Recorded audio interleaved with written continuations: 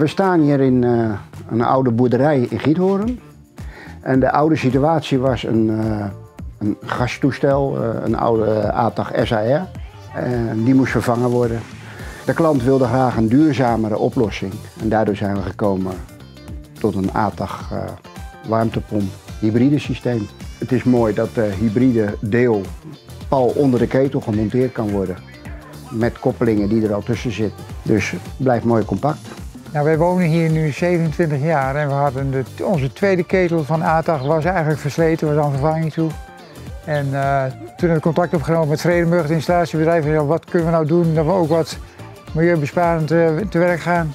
En die hebben contact opgenomen met ATAG. En die heeft gezegd van nou, misschien kunnen we wel een hybride systeem eh, bedenken dat aan kan sluiten op bestaande installatie.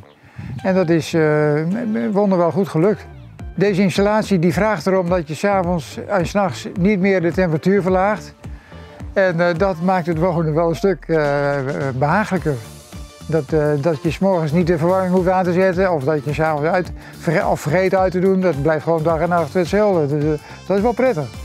Nou, de installatie die draait vanaf november, dus de hele winter, we praten nu over half mei, die heeft hij goed doorstaan. We hebben een, een, een pittige winterperiode gehad.